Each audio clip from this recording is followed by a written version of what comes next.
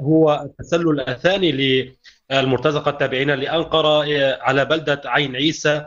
شاهدنا في الثالث والعشرين من الشهر المنصرم تسلل فاشل للمرتزقة المدعومون من أنقرة حيث تم محاصرة عدد منهم في قرية المعلق بالقرب من الطريق الدولي. كان هجوم على كان هنالك هجوم على بلدة صيدا وكذلك قرية معلق ومخيم عين عيسى. تم إفشاله من قبل قوات سوريا الديمقراطية على تخوم الشمالية لبلدة عين عيسى. في الحقيقة التسلل حصل مرة أخرى أمس الجمعة. كان هنالك تسلل على قرية المعلق بالقرب من الطريق الدولي. لكن مرة أخرى أفشل مقاتلو قوات سوريا الديمقراطية عملية التسلل. وكان هنالك بحسب المجلس العسكري لمقاطعة جريسبي كان هنالك قتلى وجرحى من الفصائل المرتزقة. يعني هذا الهجوم هو الثاني خلال أقل من أسبوعين للفص أو ثلاثة أسابيع للفصائل المرتزقة يحاولون الوصول إلى الطريق الدولي ومحاصره بلدة عين عيسى من الطرف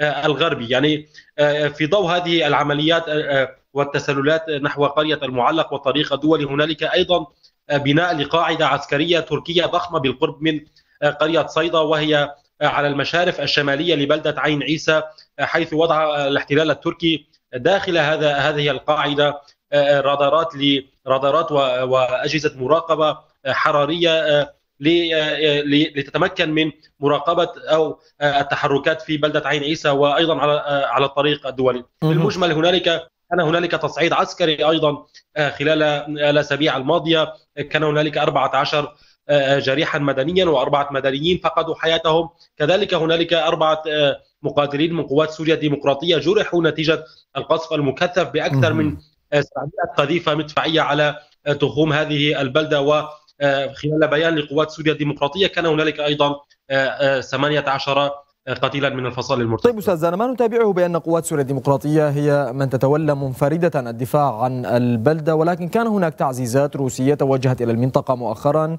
كيف تتعامل مع هذا القصف التركي ومع هذه الانتهاكات من قبل الفصائل الإرهابية التابعة للاحتلال التركي؟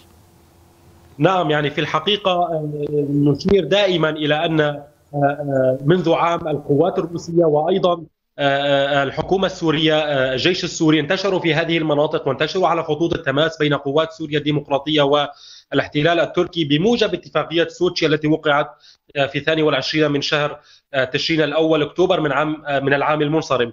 في الحقيقة إلى الآن الحكومة الروسية عاجزة عن الدفاع عن هذه أو دفاع عن هذه المنطقة بلدة عين عيسى وهذا ما يقوله أهالي هذه المنطقة هم عاجزون عن رده رده الفعل أو السكوت الروسي تجاه ما طيب أستاذ زان لطالما أن القوات الروسية عاجزة في أي سياق تصب عملية استخدام هذه التعزيزات من قبل القوات الروسية إلى المنطقة؟ نعم هذه التعزيزات كانت في الفترة الأخيرة عقب اتفاق أبرم بين المجلس العسكري في جريس بيت الأبيض وقوات الحكومة السورية وأيضا قوات النظام السوري. وبموجب هذا الاتفاق تم الاتفاق على أن يتم تشكيل ثلاثة نقاط للمراقبة بين القوات الثلاثة وهي قوات قوات الحكومة السورية وقوات سوريا الديمقراطية وأيضا الجيش الروسي على الطريق الدولي. ثلاث نقاط لمراقبة وقف نعم. إطلاق النار. وضحت الفكرة الصحفية والناشطة الإعلامية أستاذ أنا سيدي أنا أشكرك جزيل الشكر على كل هذه الإيضاحات. كنت معنا مباشرة من الشمال السوري.